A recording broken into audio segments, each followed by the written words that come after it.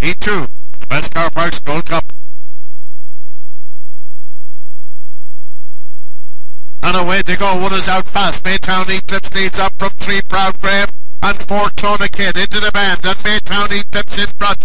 Being challenged by three. Proud Graham. Proud Graham now shows just ahead. He's not the strongest there in the world, but he leads now. Into back from one Maytown Eclipse. Five Garryvoe Bobby moves into second. Around the bottom bend is three. Proud Graham in front. Being chased by Garryvoe Bobby. The final bend there is three. Proud Graham. Garryvoe Bobby running on. And it looks as though three Proud Graham is held on from five Garryvoe Bobby. And two Farlow Joey doing a lot running late. The time 28.45.